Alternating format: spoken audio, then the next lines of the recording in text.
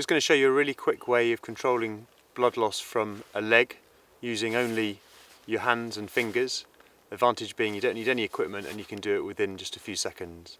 So I've got Hamish here helping me who's a, a pretend casualty and we're going to um, have the a, a, notional right injury, to, an injury to the right foot or lower leg that's losing a lot of blood. Um, so I'm just going to show you how to control that blood loss with your fingers. When you're doing this technique in training it is quite an intimate um, place you're examining so it's worth just checking you're okay with the casualty which, which I've done. The, the places where you put your hands are really key and so is your hand position. The hand position wants to be with your index fingers vertical and your thumbs pointing at each other nice and square like that.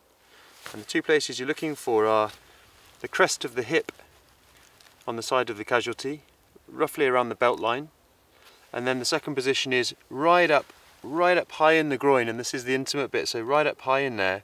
If you're shy you won't find the right place and the technique won't work. So again my hands are in that position. Crest of the hip right up in the groin.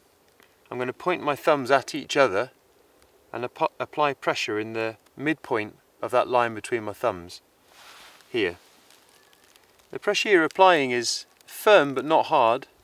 It shouldn't hurt the casualty to do this. I can feel the femoral artery in the right side of the groin underneath my thumbs and I can quite happily compress it which would reduce significantly the blood loss from any injury below that point.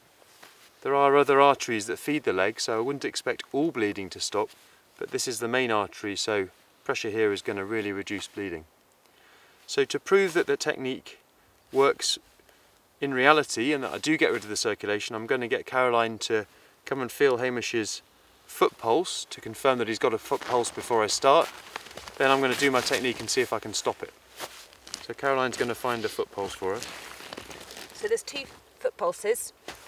The first is the posterior tibial, which we can find just between the medial ankle joint and the heel and just run our finger down along that line. It lies just behind and at the bottom of that ankle joint and Hamish has got a nice pulse there. The second one is the dorsalis pedis which runs along the top of the foot and if we start between the big toe and the second toe and just run three fingers down along that line you feel a nice pulse and Hamish has got very easily palpable pulses in both of those locations. Okay, so Caroline, if you can pick one of those pulses and let me know when you're happy that it is there and you can feel it easily. Yep, I've got my finger on the pulse behind the ankle.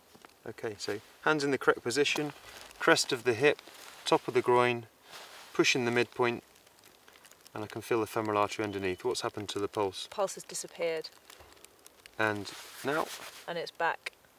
So in conclusion, a really easy, quick um, and simple technique to make a big difference to blood loss in the lower limb.